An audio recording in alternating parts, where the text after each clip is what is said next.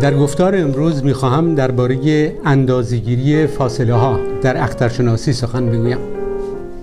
دانستن فاصله اختران بسیار مهم است زیرا بی آن نمی‌توان به ماهیت اختران پی برد و ساختارهایی چون ساختار کهکشان و کهکشانها و به طور کلی کیهان را شناخت. به ویژه برآورد تابندگی ها یا انرژی های دستن در کار در جهان اختران بیدانستن فاصله های آنها ناممکن است.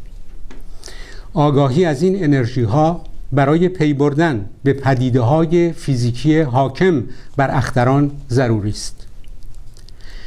ولی باید دانست که آترمش تعیین فاصله های اختران کاری است بسیار دشوار و هنوز هم با همه پیشرفت هایی که در نپاهش اختران کرده ایم یافتن اندازه پرسون دقیق فاصله های اختران به ویژه اختران دوردست آسان نیست.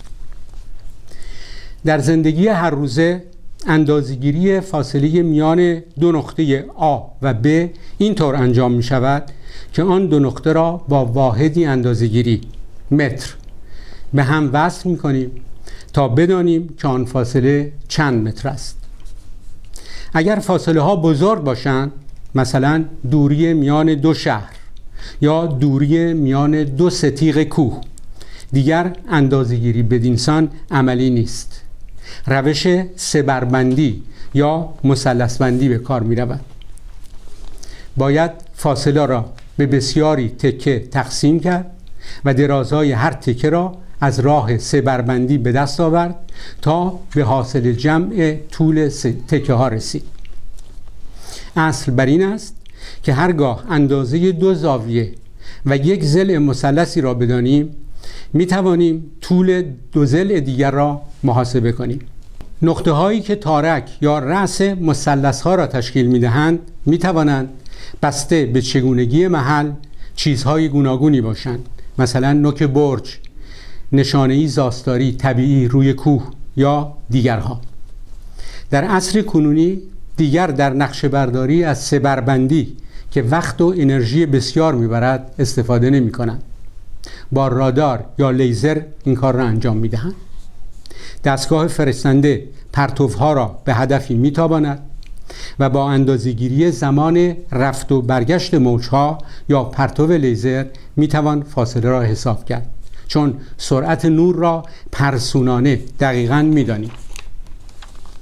همکنون با بکار بردن پرتوهای لیزر یا رادار می توانیم فاصله اختران نزدیک راژمان منظومه خورشیدی را به دست آوریم.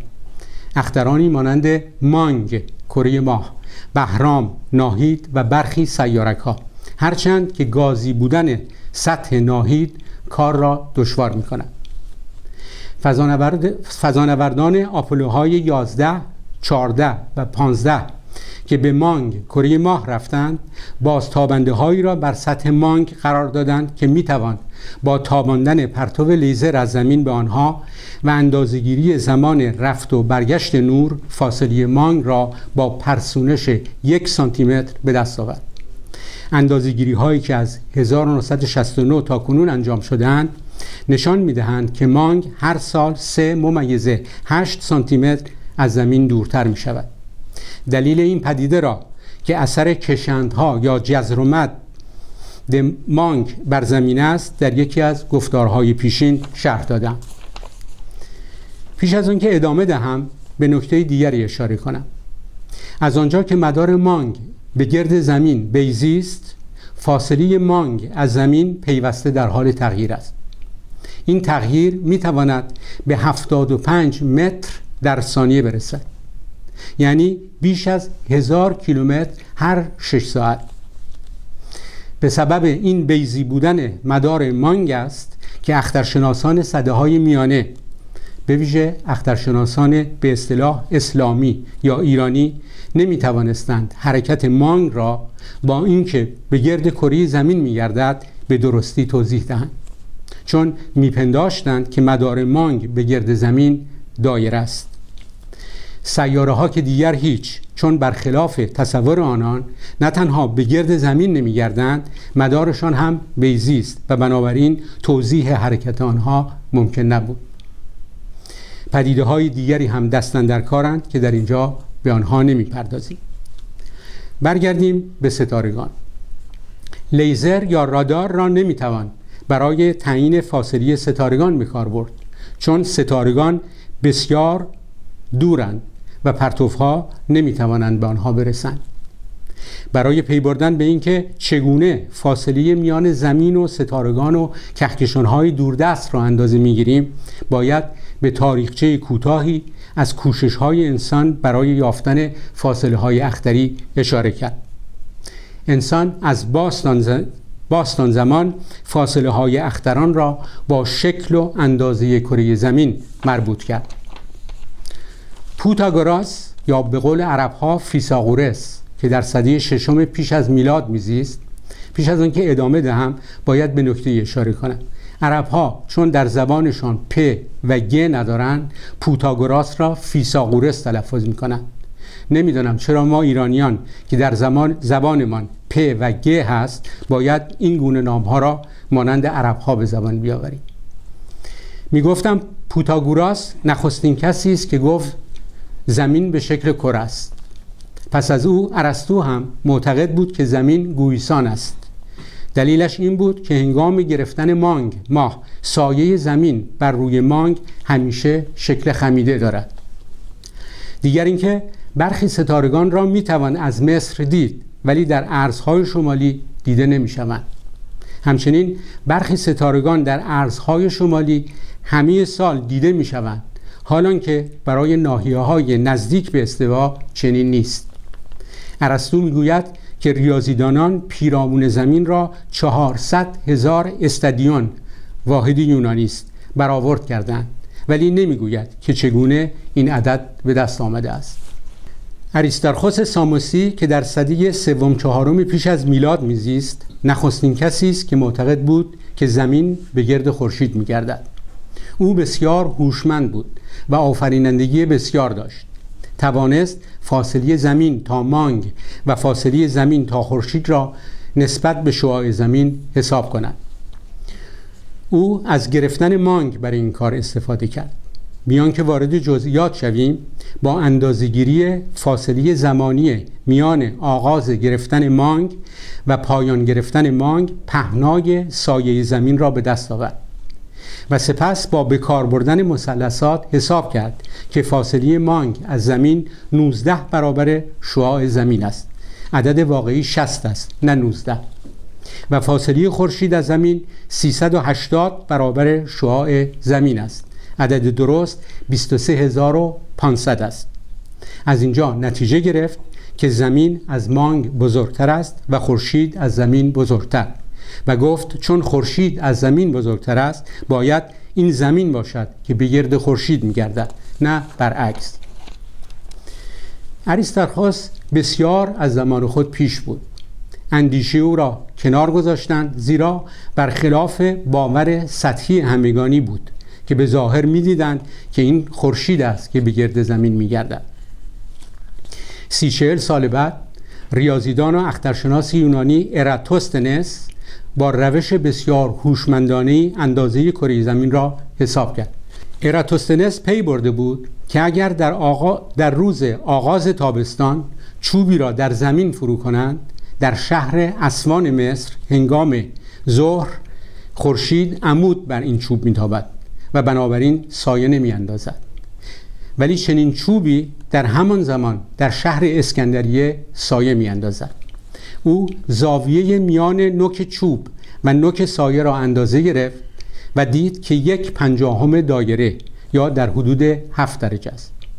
بعد اراتوستنس استدلال کرد که این زاویه همان زاویه است که دو زمین وقتی از این دو شهر به مرکز زمین وصل شوند با هم می‌سازند پس باید فاصله میان اسکندریه و اسفان یک پنجاهم پیرامون زمین باشد.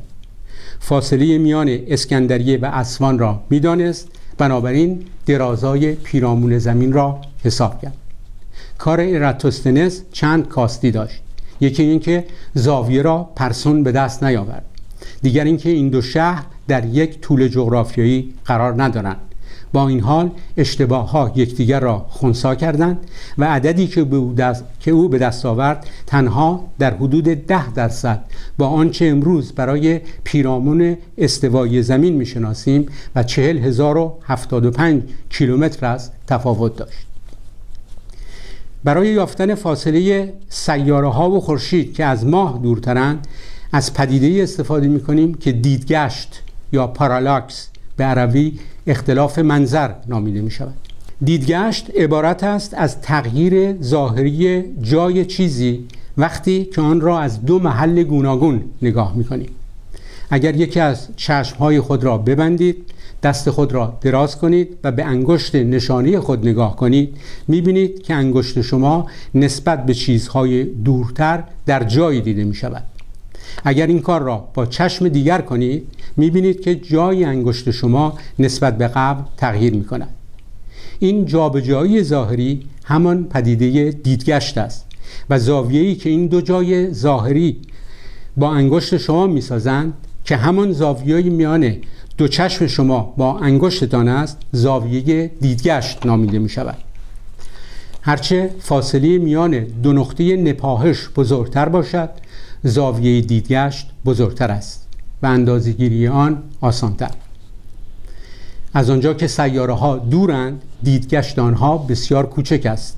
بنابراین باید سیاره ها را از دو نقطه دور, دور از همه کره زمین نپاهید منتها به طور همزمان. آن هم با تلسکوپ. زیرا چنان که گفتم زاویه ها کوچکند. این کار را نخستین بار در سال 1672 اخترشناسان نپاهشگاه پاریس کردند. ژان دومینیک کسینی نپاهش ها را در پاریس انجام داد و همکارش ژان ریشه از کین در گویان در آمریکای جنوبی در فاصله 7000 کیلومتری از پاریس. گفتم که نپاهش ها باید همزمان باشند. همزمانی هنگامی بود که بهرام یا مریخ به پادیستان اپوزیسیون. یعنی نقطه مقابل خورشید می رسید و زمین میان خورشید و بهرام قرار می گرفت مسئله این بود که ساعتهای آن زمان پرسون نبودند و تحمل سفر دریایی را نداشتند. هماهنگی خود را از دست می‌دادند. ولی این مسئله را به نحو نبوغاسایی با نپاهش ماههای مشتری حل کردند و توانستند ساعتهای پاریس و کین را هماهنگ کنند. یک سال بعد که ریشه به پاریس بازگشت دو اخترشناس نخست فاصله بهرام را حساب کردند و سپس با بکار بردن قانون سوم کپلر فاصله زمین از خورشید را به دست آوردند.